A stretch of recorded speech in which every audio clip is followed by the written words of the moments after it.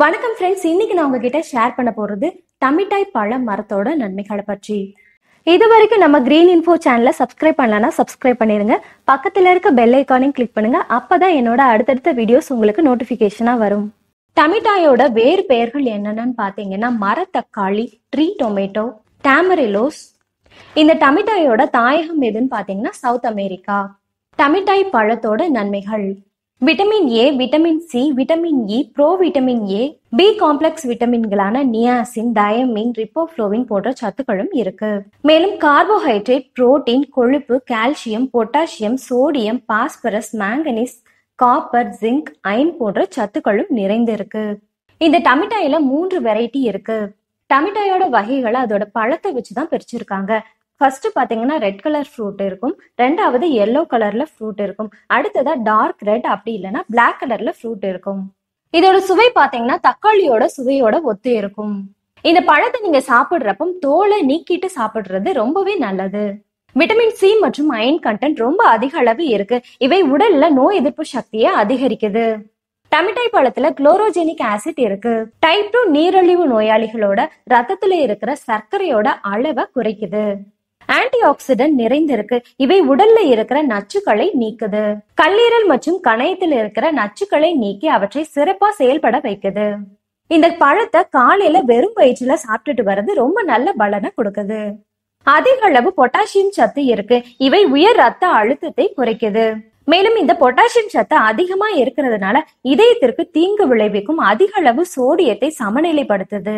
மேலும் இதில் உள்ள மெக்னீசியம் சத்து இதயத்தை சிறப்பா செயல்பட வைக்குது. டமிட்டாயில இருக்கிற அதிகப்படியான விட்டமின் சி சத்து அயன் அப்சார்ப்ஷனை தூண்டுது. Vitamin A vitamin C vitamin E போன்ற சத்துக்கள் நிறைந்திருக்கு. இவை சரும ஆரோக்கியத்தை மேம்படுத்துது. மேலும் ஆந்தோசயானின் புளோனைட் பீனால்ஸ் போன்ற சத்துக்கள் சருமத்தில் இருக்கிற விஷத்தன்மையை போக்குது. மேலும் ஆக்சிடேட்டிவ் ஸ்ட்ரெஸ்ஸையும் குறைக்குது. ஃப்ரீ ரேடிகல்ஸ் எனப்படும் செல் டேமேஜை சரி செய்யுது. இதனால உடல் மற்றும் முகத்திற்கு முதுமையான தோற்றத்தை மாற்றி இளமையான தோற்றத்தை கொடுக்குது. மேலும் சருமத்திற்கு நல்ல பளபளப்பையும் பொழிவையும் கொடுக்குது. இதுல இருக்கிற அயன் சத்து ரத்த உற்பத்தியை அதிகரிக்குது. அனிமியா மற்றும் ஹைப்பர் டென்ஷனை குறைக்குது.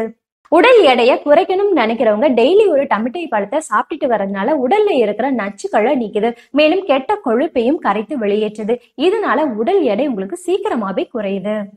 எலும்பு மற்றும் பற்களுக்கு வலிமை அளிக்குது. கொலம்பியா மக்கள் தொண்டை வலி மற்றும் தொண்டை அலர்ஜிக்கு இந்த பழத்தை வேக வைத்து தொண்டையில பத்து மாதிரி போட்டுட்டு வராங்க. இந்த மாதிரி செஞ்சுட்டு வர்றதுனால இந்த வலி மற்றும் அலர்ஜியை சரி செய்யுது. இது அவங்களோட நாட்டு மருந்தா பயன்படுத்திட்டு வராங்க. இந்த பழத்துல விட்டமின் ஏ சத்து ரொம்ப அதிக அளவு இருக்கு. கண்களின் ஜவ்வுகளின் ஈரப்பத குறைவை சரி செய்யுது. இதனால தொற்றுநோய் பாதிப்புல இருந்து கண்களை பாதுகாக்குது. கண்களின் ஆரோக்கியம் மற்றும் கண் பார்வை திறனை மேம்படுத்துது. Antioxidant antimicrobial properties அதிக அளவு இருக்கு. இவை புற்றுநோயை உண்டாக்கும் ஃப்ரீ ரேடிகல்ஸ் எனப்படும் செல் டேமேஜை எதிர்க்கும் தன்மை கொண்டதா இருக்கு. நுண்ணுயிர் கொல்லி பண்பு மற்றும் ஆன்டி அலர்ஜி ப்ராப்பர்ட்டிஸ் இதுல அதிக அளவு இருக்கு. இவை கேன்சர் நோயை எதிர்க்கும் தன்மை கொண்டதா இருக்கு. சோ இந்த பழத்தை ரெகுலரா நீங்க சாப்பிட்டுட்டு வர்றதுனால கேன்சர் ஏற்படும் அபாயத்தை குறைக்குது. டமிட்டாய் இலையோட நன்மைகள். இதோட இலைகளை கொண்டு ஹேர் டை ப்ரிப்பேர் பண்றாங்க. தென் அமெரிக்க மக்கள் தொண்டை அலர்ஜி மற்றும் தொண்டை வலியை போக்க இதோட இலைய சூடுபடுத்தி கழுத்துல சுற்றி கட்டிக்கிறாங்க. இலையோட அந்த சூடு தொண்டையில பரவி தொண்டை வலி மற்றும் தொண்டை அலர்ஜியை குறைக்குது. ஓகே ஃப்ரெண்ட்ஸ் இன்னைக்கு நான் சொன்ன இன்ஃபர்மேஷன் உங்களுக்கு பிடிச்சிருந்துச்சுன்னா என்னோட சேனலை லைக் பண்ணுங்க ஷேர் பண்ணுங்க. ஏதாவது சஜஷன் இருந்துச்சுன்னா கமெண்ட்ல சொல்லுங்க. தேங்க்யூ